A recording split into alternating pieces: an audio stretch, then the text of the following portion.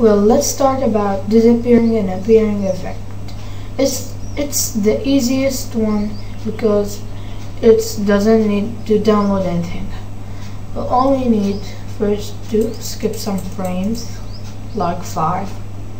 Then just make the stick move a bit.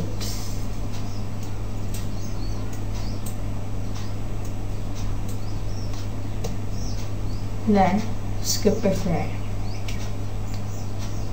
Well, you can skip a frame uh, with a shortcut enter, easier than clicking every time here.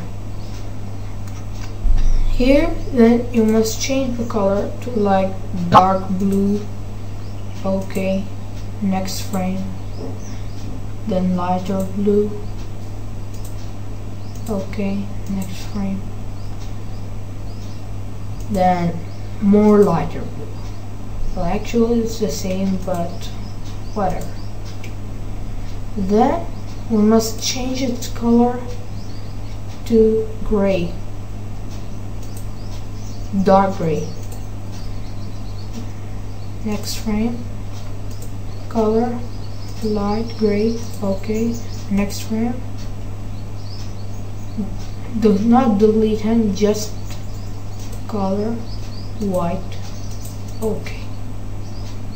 That's how you do it.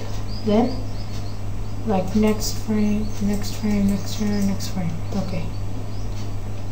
Now you move the stick to here and flip it. Then color it. The lighter blue next frame. Darker next frame. Yeah next frame. And color. Yeah next frame color. Then the dark again. Next frame. And color black again. The next frame next frame like five. Okay. let's see it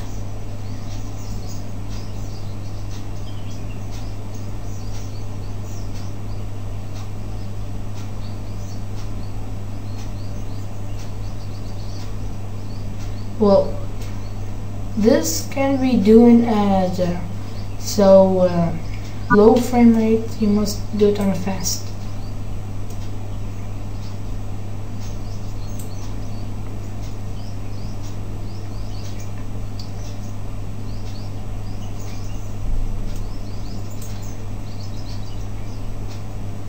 Well that's a good effect for a beginner.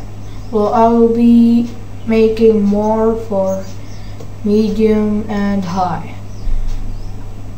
Uh, so who are medium and pivot wait uh, maybe I'll make a video later on it. Okay thank you for watching